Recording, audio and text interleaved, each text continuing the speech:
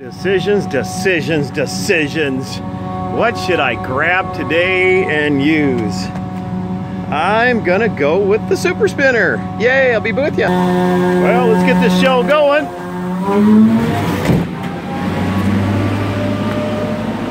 Little rental situation. And I'm gonna use the super spinner. And I'm gonna vent. Thanks, Ron. Nice super screen. Yeah, I'll shill it for him he's a good guy. He makes a nice product. Matter of fact, this guy called Eric Kiltz isn't too bad either. Shill, shill, shill. Anybody got a super spinner yet? I do. Would you look at that? Woohoo! Loving that. I'll be right with you.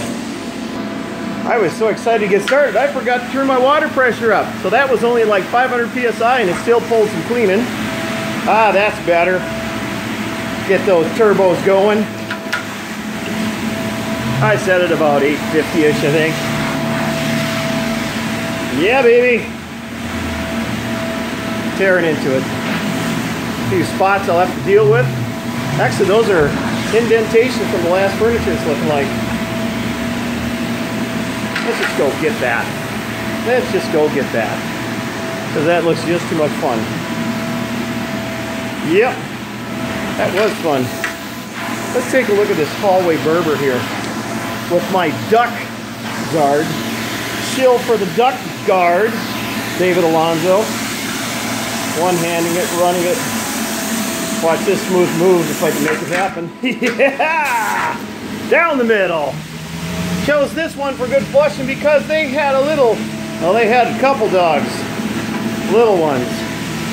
So I got the Harvard Pet Enzyme, another shill moment. Down and working. So there you go. I'm gonna finish this up. By the way, if I haven't chilled my butler, it's hiding in that door. So, I'm gonna tear it up. Have a great one.